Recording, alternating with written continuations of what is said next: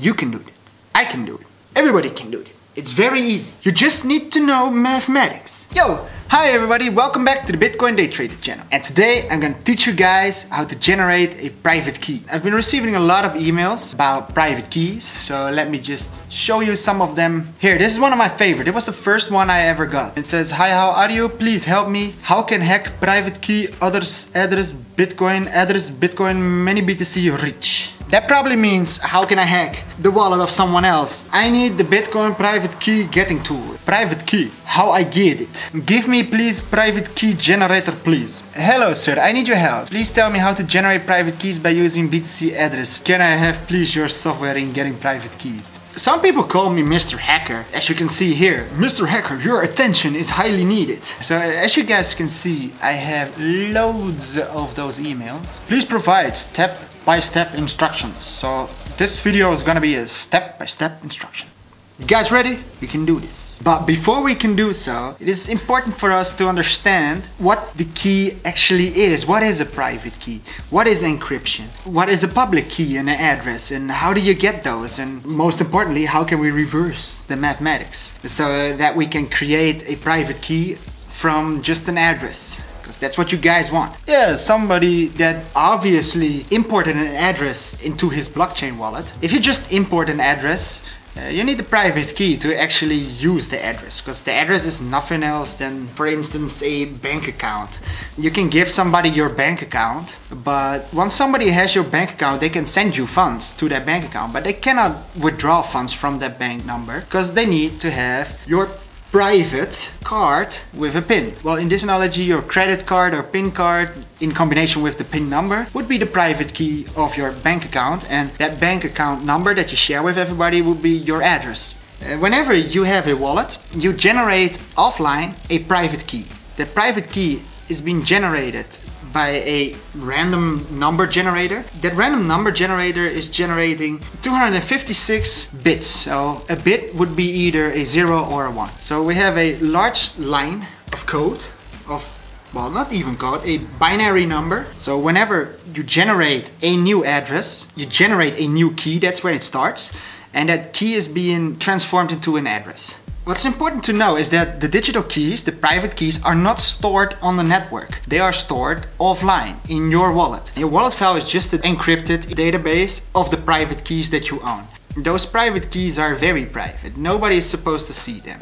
You are not even supposed to see them because once you're able to see them, hackers would be able to see them. So they should be private at all times. So it's always best to never ever have a digital version of your private key and only the encrypted version that is in the wallet that you're using. So way back in the days, like hundreds of years ago, when somebody wanted to send somebody a message, you write a letter. But if somebody would get that letter, he would receive your message. In order for them to safely send each other messages, they wanted to have an encryption on the messages. The most easy idea of encryption would be, for instance, that you change every letter of the alphabet by a certain amount of numbers. So let's say 1, very easy, plus 1 would mean that every A would be a B and every E would be an F. So what this means is that every letter moves a position. This means that they're using a mathematical technique to encrypt their messages. How does the Bitcoin protocol generate a new private key? That's the main question. It starts with something that they call an elliptic curve cryptography. What does this mean? Elliptic curve would be a curve shaped a little bit like L shape, I don't know, like Casper the Ghost, but it has a weird wave. That wave is there because we have an x to the third power, x to the power 3, uh, which means x times x times x in combination with y squared. So as you can see here, that, that's the basis of the fact that it would move in that order or something. We have an elliptic curve and in this formula x and y are positions on the curve. The private key is actually a x and y coordinate, a location on the curve in binary numbers. You can divide the private key, you can split it in half. First part is your x coordinate, the second part is your y coordinate. Where to go from here? As you see here, Bitcoin uses a curve and that curve can be represented by this formula. y squared modulus p equals x to the third plus 7 modulus p. And what would be this modulus p? The modulus part of this formula is the tricky part of the formula. It is one of the techniques that makes it very hard to reverse the mathematics. The first time I ever encountered modulus would be in programming. And then I didn't understand what a modulus was and why you would even use it.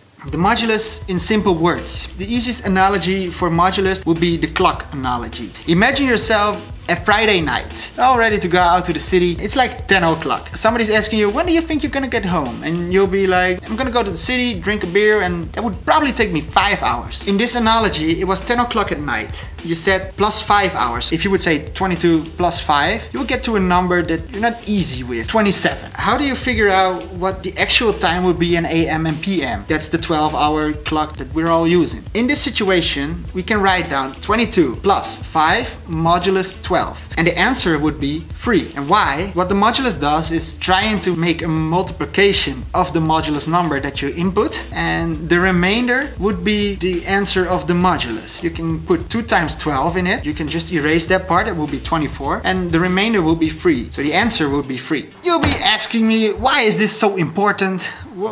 What's what's the point of this? The hardest part about this formula is transforming it back. It is virtually impossible to know what the x was only knowing the answer because there are lots of different possible x's that get to the same solution. It is useless to try to revert this calculation. So as you can see here in this formula, they have modulus p, where p would be a prime number. And that prime number would be a very, very large number. As a matter of fact, that number is gonna be... I thought it was this number. It is a very large number. It is a very large prime. So, okay, so big deal. You guys, uh, you, you figured out that the private key is actually a x and y position on a graph and for some magical reason it gives us an address. How did we get from a private key to an address? There's a lot of mathematics and encryption going from the private key to the public key or eventually the address. The main general idea is is a little bit like this. We all have our shared G point, the, the base number. It was our generator number. Uh, if, we, if we're gonna try and visualize a multiplication of that generator point on the graph, it would look something like this. So you have a graph here. You start with the tangent point of the graph and the tangent point is, if you have a curve like this, it is like a skier on a slope. Whenever you have a point, you take the tangent and you make it a line in this curve, it always cuts another part of the curve. they get the tangent of the generator point. It crosses the same curve on another location. They transfer it over the X, so it's a mirror image. So as you guys can see, it is very hard to actually do the mathematics of getting from private key to an address. And it's even harder and it's it's impossible to do the mathematics the other way around to reverse this formula. It's not possible. It's easier to try every possible input to get the right output. It's, it's just as much work as trying to reverse this whole situation. So what this means is that it is impossible to generate a private key from an address. It's just not possible. It's no way. If somebody is trying to trick you into buying some private key generator stuff, it is 100% sure scam because it is impossible. Because if it was possible, Bitcoin would not be as expensive as it is today. Because the whole idea of Bitcoin is this encryption safety, and if that is compromised, it will lose all its value. Because that's the trust we have in the system. The trust that we have in the Bitcoin protocol is the fact that this system is built in a way that we cannot reverse this formula. We cannot create a private key from an address. We cannot use the public information and create a private information. It is the other way around. You start with private information and from the private information you can derive a public address, a public key. I hope that this made some sense to you guys. I hope I can edit it in a way that you guys really understand it because it was hard explaining this. I hope that you guys now know that you're not gonna be able to generate a private key as much as you want it, as smart as you are, even if you have the best computer, it's gonna take you millennia to do that. You won't even be around if you have a supercomputer able to do these calculations. You won't survive it because it's too hard. I thought it was an interesting topic. I make these videos every once in a while and It's not always like this. Sometimes it's a tutorial, sometimes it's just a vloggy situation, but I make these videos every once in a while. If you did enjoy this video and you want to see more of these kind of videos in the future, be sure to subscribe to my channel if you're new. And if you did enjoy this, uh, give it a big thumbs up, give it a like. I want to thank you guys for watching, and as always, thank you guys for watching. See you guys next time. This this got to be my favorite, one of the best best emails I got. So check this out. It said, "Urgent, please, please, can you help me with this private key?" So he was asking me if I could get the private key of this wallet. So check this out. It's this wallet. They're, they're free D2.